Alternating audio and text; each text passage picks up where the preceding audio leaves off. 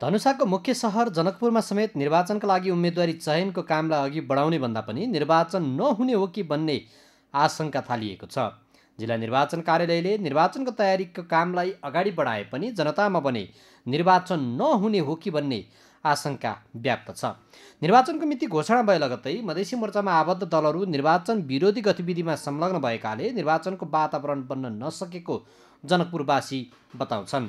उनीले मधेस केन्द्रित दलको माग पुरा गरी निर्वाचनको वातावरण निर्माण गर्न सरकारसँग माग गरेका छन्। सहभागिताको लागि सर्वप्रथम त शोषित दमित दलित आदिवासी जनजाति मधेसीहरूको भावनाले समेटेर संविधानमा संशोधन गर्नु पर्यो। र त्यो संविधान संशोधन भइसकेपछि जुन पक्षले आन्दोलन गरिरहेका छन् जुन पक्षले आफ्नो अधिकारको खोजी गरिरहेका छन् त्यो पक्षलाई यदि त्यो अधिकार प्राप्तिको एहसास हुन्छ भने स्वतः निर्वाचनमा सक्रिय हुने हुनेछ हुन्छन् होइन भने यो चाहिँ निर्वाचन असम्भव छ सम्भव छैन मधेसमा निर्वाचन गराउन सकिँदैन। अहिले मधेस केन्द्रित दलहरूले स्थानीय तहमा निर्वाचनको माहौल सिर्जना गर्नुको सट्टा गाउँपालिका कार्यालयमा तालाबन्दी गर्न सुरु गरेका छन्। गाउँपालिकाकै कार्यालयमा तालाबन्दी गरेपछि निर्वाचन हुनेमा आशंका गर्ने बलियो आधार बन्न गएको छ। स्थानीयले स्थानीय तहको निर्वाचनमा मधेसी मोर्चालाई कसरी सहभागी गराउने हुन् भन्ने कुरालाई चासोपूर्वक हेरिरहेको पाइएको छ। करिब बिस वर्षपछि हुन लागेको स्थानीय तहको निर्वाचन सम्पन्न भएपछि विकास निर्माणको कामले गति लिने सर्वसाधारणले विश्वास लिएका छन्। निर्वाचनको वातावरण बन्दैछ कुन महिनामा हो भने तपाईँको यो धेरै वर्ष भयो स्थानीय तहविहीन भएको।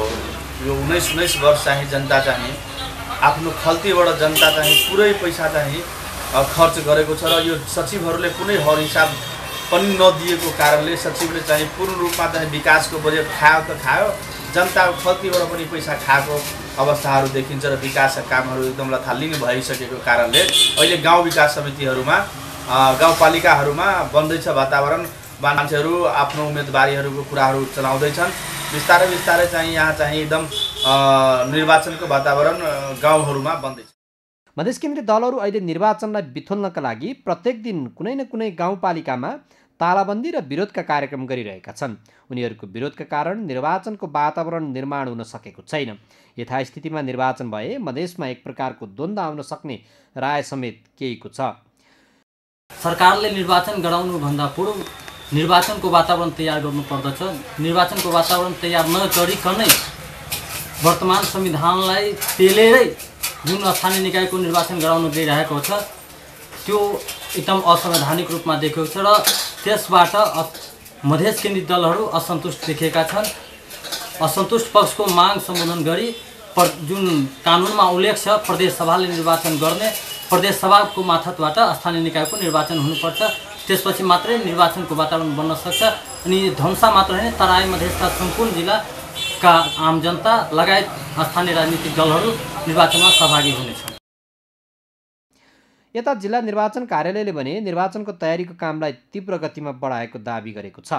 निर्वाचन केन्द्र समेत छनौट गर्न नसकेको आयोगले निर्वाचनको तयारीको काम भने तीव्रता दिएको जनाएको हो। आयोगले मतदाता नामावलीलाई अन्तिम रूप दिएर आयोगमा पठाउने काम पुरा गरेको छ। त्यसै गरी अन्य कार्यक्रमहरू पनि कार्यतालिका अनुसार नै गरिएको निर्वाचन कार्यालयले जनाएको छ।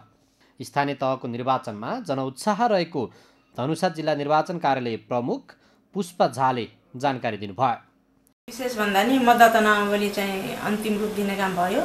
त्यसपछि दलहरूलाई चाहिँ विवरण अध्यापति गराइयो। त्यसपछि हामी मतदान केन्द्र पुनरावलोकनको काम चाहिँ गर्दैछौँ।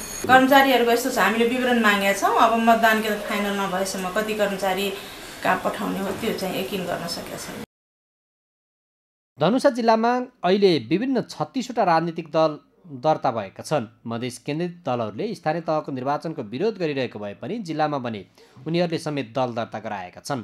राजेन्द्र महतोको नेतृत्वमा रहेको सद्भावना पार्टी बाहेक सबै मधेस केन्द्रित दलसहित विभिन्न छत्तिसवटा दलले जिल्ला निर्वाचन कार्यालयमा दर्ता गराएका हुन्।